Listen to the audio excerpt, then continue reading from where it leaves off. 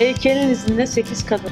8 kadın arasından benim de seçilmem hoşuma gitti. İzmir olması heyecanlandırdı beni.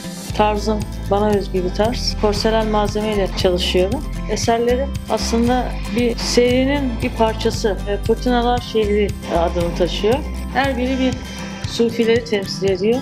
Bilimlerin herhangi bir cinsiyeti yok. Sufilerin de normalde olmuyor. Yani biraz tasavvuf etkili. Birbirlerine zarar vermeden ilerliyorlar. E, Saf, temiz, ahlaklı bireyleri temsil ediyor bunlar.